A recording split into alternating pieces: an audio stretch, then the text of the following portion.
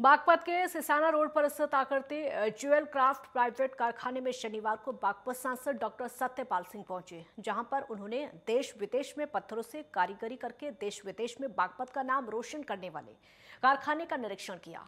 और इस दौरान बागपत सांसद डॉक्टर सत्यपाल सिंह ने कहा कि आने वाले समय में महाभारत काल जैसा बागपत बनेगा और पहले जैसे राजाओं के बड़े बड़े महल हुआ करते थे, वैसे ही बागपत की इस फैक्ट्री में तैयार होने वाली कारीगरी से ऐसे ही महल चमकेंगे। उन्होंने कहा कि प्रधानमंत्री नरेंद्र मोदी की मेक इन इंडिया थीम को बागपत ने साकार किया है। उन्होंने हाथ की कारीगरी और मशीनरी के अद्भुत संगम को तैयार कर रहे कारीगरों से भी बात की। उन्होंने कहा कि पिछले दो सालों में आकृति ज्वेल क्राफ्ट ने बागपत का नाम देश विदेश में रोशन किया है। उसके बाद सांसद डॉक्टर सत्यपाल सिंह ने कंपनी निदेशक सौरभ कनोजिया को धन्यवाद दिया और हर संभव मदद का भरोसा भी दिया।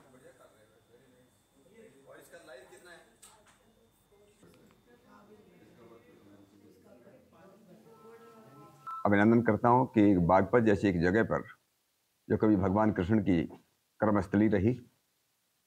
एक ऐसी जगह है जहाँ पर आप लोगों ने सुना हो कि महाभारत के काल में जो इंद्रप्रस्थ में जो महल बनाया गया तो मैं नाम का जो आर्किटेक्ट था, उसने उसको बनाया था। और मैं इधर के रहने वाले थे। मैं के नाम पर ही मैं राष्ट्र बना, मैं महाराष्ट्र से बिगड़ करके जो है मेरठ बन गया।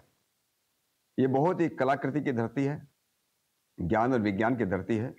ऐसी ज्ञान विज्ञान की इस धरती में, आर्ट की इस धरती में, और आपको मालूम होगा हमारे पास में जो वर्ण, जो वर्णावा है, वर्णावा महाभारत कालीन ये वर्णावत था, यहाँ पर बहुत सुंदर महल बनाया गया था।